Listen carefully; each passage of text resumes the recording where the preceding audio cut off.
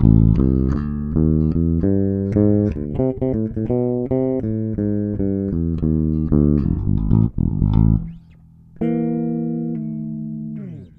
back to GearWire.com. I'm Owen O'Malley, and this is the G&L L2000 Tribute Bass. Uh, G&L, as I'm sure you know, is the company that was founded by George Fullerton and Leo Fender. Uh, so these are sort of like, you know, Fender's cousins, these basses. Uh, these guys have uh, two pretty high output humbucker pickups. Uh, it's got a nice six bolt neck joint right here. Uh, the neck is maple, topped with rosewood, and it is a satin finish on the neck, so it's a very quick feeling neck. Um, the controls down here for the preamp and the EQ, uh, there are three large rotary controls right here and then three mini toggles. You can get a lot of different sounds out of this bass. Uh, there is an active preamp. Uh, right now it is off. You turn it on with this last mini toggle here, putting it in the middle position. You can hear it's a little more of a hi-fi sound, a little uh, fuzzier, or fizzier. Uh, you can control the highs and lows with these two knobs. The one closer to the bridge is the bass, and then the one in the middle is the treble.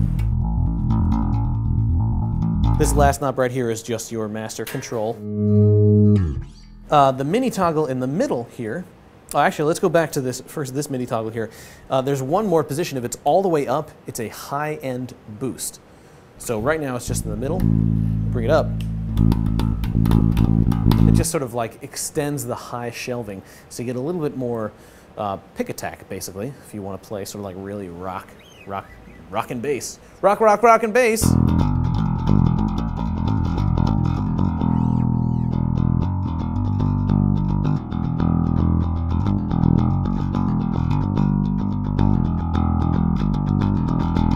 Get that real sort of like piano string sound. Um, okay, so now over to this mini toggle here uh, in the middle. The mini toggle in the middle uh, basically switches between series or parallel wiring uh, for the two pickups here. Uh, when it's down, it is in series, and if we put it up, it is in parallel. Uh, or rather the other way around. It's in parallel first, and if we bring it up, it's in series, which is a higher output.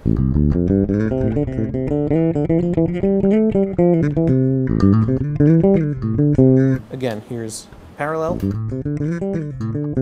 here's series.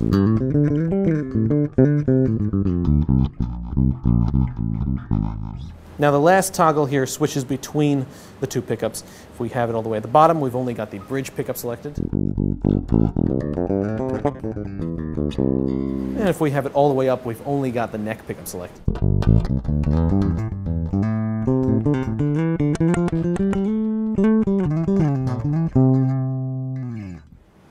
So as you can hear, the sort of uh, overall sort of main sound characteristic of this guy is a very sharp attack and almost like automatically scooped mid with everything.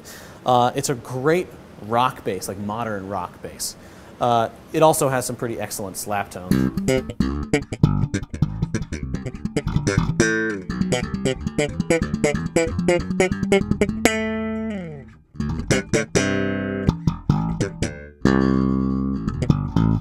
Um, yeah, uh, so there you go. That is the G&L uh, L2000 Tribute Bass. This is the four string. It also comes in a five string variety called the L2500.